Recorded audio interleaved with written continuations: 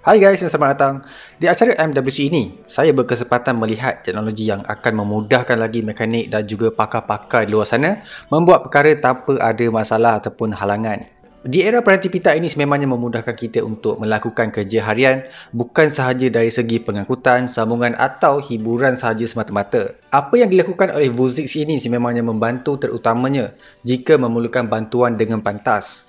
Di hadapan anda ini adalah Vuzix M300 XL iaitu sebuah bingkai AR yang ketika ini sudah pun digunakan untuk menyelesaikan masalah tanpa melengahkan masa.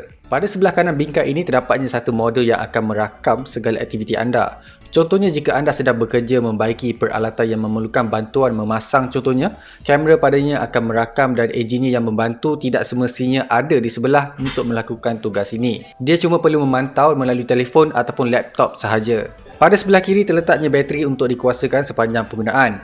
Beratnya agak ringan tetapi ketahanan bateri dijangka sebanyak 3 hingga 4 jam sahaja tetapi anda juga boleh terus mengecas menggunakan power bank dan sebagainya untuk memakai dengan lebih lama. Seperti yang saya katakan tadi, ini adalah bingkai AR. Jadi menerusi kamera yang berkemampuan merakam video pada resolusi HD, ianya juga dapat mengenal pasti AR code yang boleh ditampal pada kotak untuk membolehkan anda melihat gambaran apa yang ada di dalamnya.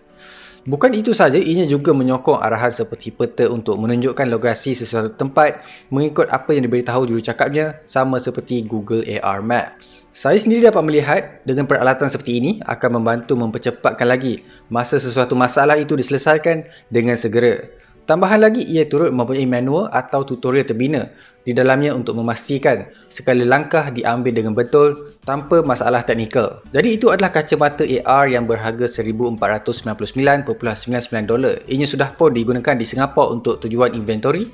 Menurut jurucakapnya lagi, Petronas turut menggunakan peralatan ini tetapi tidak menyatakan tujuannya kepada mereka. Macam biasa guys, tinggalkan like dan subscribe. Kita berjumpa lagi di video seterusnya.